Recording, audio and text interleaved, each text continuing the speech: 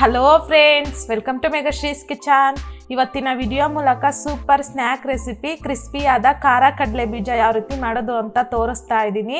ಈ ಖಾರ ಕಡಲೆ ಬೀಜಗ ಬರೀ ಮೂರು ಇಂಗ್ರೀಡಿಯೆಂಟ್ಸಿಂದ ತುಂಬಾ ರುಚಿಯಾಗಿ ಕ್ರಿಸ್ಪಿಯಾಗಿ ಖಾರ ಕಡಲೆ ಬೀಜನ ಪ್ರಿಪೇರ್ ಮಾಡ್ಕೋಬೋದು. ಬನ್ನಿ ಇವಾಗ ಇದನ್ನು ಯಾವ ರೀತಿ ಮಾಡೋದು ಅಂತ ನೋಡೋಣ.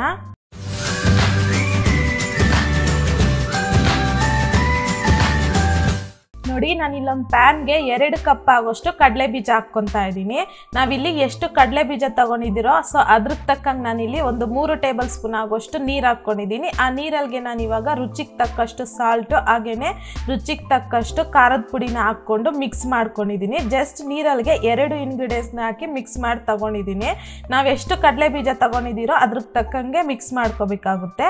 ಇವಾಗ ಇದನ್ನು ಹುರ್ಕೊಬೇಕು. ಸೊ ಹಾಗಾಗಿ ಇವಾಗ ಇದನ್ನು ಸ್ಟವ್ ಮೇಲೆ ಇಟ್ಕೊಂಡು ಲೋ ಫ್ಲೇಮ್ನಲ್ಲೇ ಇದನ್ನು ಹುರ್ಕೋಬೇಕಾಗುತ್ತೆ. ಸೊ ಲೋ ಫ್ಲೇಮ್ನಲ್ಲಿ ಹುರ್ಕೊಳ್ಳೋದ್ರಿಂದ ಹೊಲ್ಗೆ ಎಲ್ಲ ಕ್ರಿಸ್ಪಿಯಾಗಿ ಪರ್ಫೆಕ್ಟಾಗಿ ಹುರ್ಕೋಬೋದು ಕಡಲೆ ಬೀಜನ. ಸೊ ಹಾಗಾಗಿ ಲೋ ಫ್ಲೇಮ್ನಲ್ಲೇ ಈ ರೀತಿ ಮಿಕ್ಸ್ ಮಾಡ್ಕೊತ ಚೆನ್ನಾಗಿ ಫ್ರೈ ಮಾಡ್ಕೋಬೇಕಾಗುತ್ತೆ ಈ ಕಡಲೆ ಬೀಜನ. ನೋಡಿ, ಕಡಲೆ ಬೀಜನ ಇಷ್ಟೇ ತಗೋಬೇಕು ಅಂತೇನಿಲ್ಲ. ನಿಮ್ಗೆ ಎಷ್ಟು ತ, ಮಾಡ್ಕೋಬೇಕು ಅನ್ಸುತ್ತೋ ಅಷ್ಟನ್ನ ಹಾಕಿ ಹುರ್ಕೋಬೋದು. ಬಟ್ ನೀವು ಇಲ್ಲಿ ಎಷ್ಟು ಕಡಲೆ ಬೀಜ ತಗೊಂತೀರೋ ಅದ್ರಕ್ಕೆ ತಕ್ಕಂಗೆ ಸಾಲ್ಟು ಹಾಗೇನೆ ಖಾರದ ಪುಡಿನ ಹಾಕ್ಕೊಂಡು ಮಿಕ್ಸ್ ಮಾಡ್ಕೋಬೇಕಾಗುತ್ತೆ. ನೀರನ್ನು ಅಷ್ಟೇ ಜಾಸ್ತಿ ಹಾಕಿ ಮಿಕ್ಸ್ ಮಾಡ್ಕೋಬಾರ್ದು. ನೋಡಿ, ಈ ರೀತಿ ಹುರ್ಕೊಂಡಾದ್ಮೇಲೆ ಸಾಲ್ಟು ಹಾಗೇನೆ ಖಾರದ ಪುಡಿನ ಮಿಕ್ಸ್ ಮಾಡಿ ತಗೊಂಡಿದ್ದಾರಲ್ವಾ? ಸೊ ಅದನ್ನು ಈ ರೀತಿ ಮಿಕ್ಸ್ ಮಾಡ್ಕೊತ ಹಾಕ್ಕೋಬೇಕಾಗುತ್ತೆ.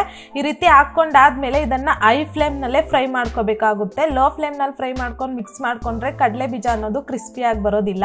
ಸೊ ಹಾಗಾಗಿ ಐ ಫ್ಲೇಮ್ನಲ್ಲೇ ಖಾರದ ಪುಡಿ ಹಾಗೆಯೇ ಸಾಲ್ಟ್ ಹಾಕಿ ನೀರಲ್ಲಿ ಮಿಕ್ಸ್ ಮಾಡಿ ತೊಗೊಂಡಿರ್ತೀರಲ್ವ?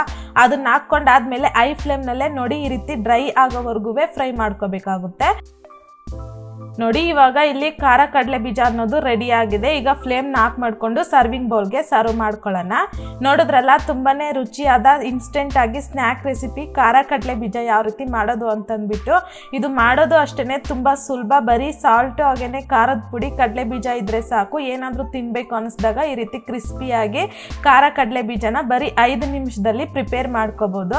ಸೊ ಈ ರೀತಿಯಾಗಿ ನೀವು ಮನೇಲಿ ಒಂದ್ಸಲ ಟ್ರೈ ಮಾಡಿ ನೋಡಿ. ನಿಮಗೂ ಹೇಗೆ ಬಂತಂದ್ಬಿಟ್ಟು ಕಮೆಂಟ್ ಬಾಕ್ಸಲ್ಲಿ ಕಮೆಂಟ್ ಮಾಡಿ ಲೈಕ್ ಮಾಡಿ ಶೇರ್ ಮಾಡಿ.